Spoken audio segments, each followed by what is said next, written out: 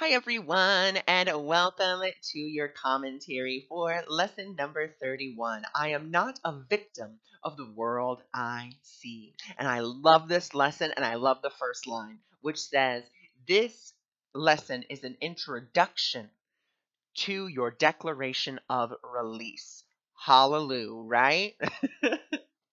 so, this lesson is beautiful because it really helps to illustrate one important fact that we are not taught as children or as adults, which is that the world is not happening to us. The world is happening from us. And that's why this lesson really says, you know, you can escape from the world without and from the world within, and you will escape them together because they are intricately connected. It's just, we could say that the world is like a giant mirror that reflects back to you your thoughts and beliefs. And I want to give you this example.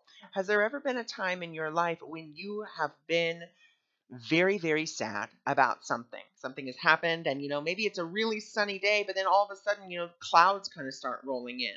Or maybe it was already a cloudy day, and then it starts raining, and it wasn't even supposed to rain.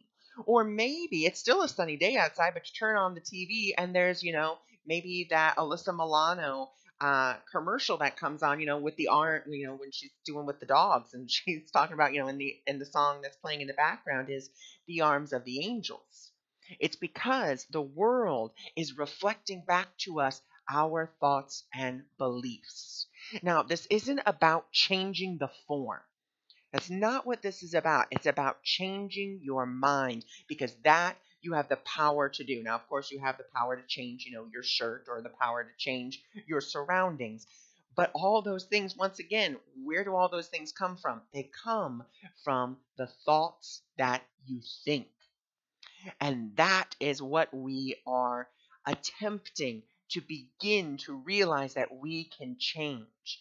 This is why we can never really be victims in the world that we see, simply because the world is a direct reflection of the thoughts that we have.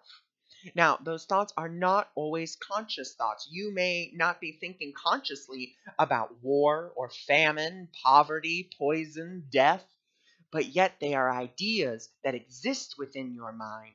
And as we see them, it's all, you know, you're projecting them out there to say, do I still want this?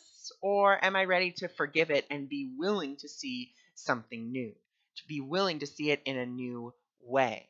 You know, and that's the same thing that goes for the past. You know, if you were hurt in the past, are you going to continue to be that person in the past, or are you going to begin to step into the present moment?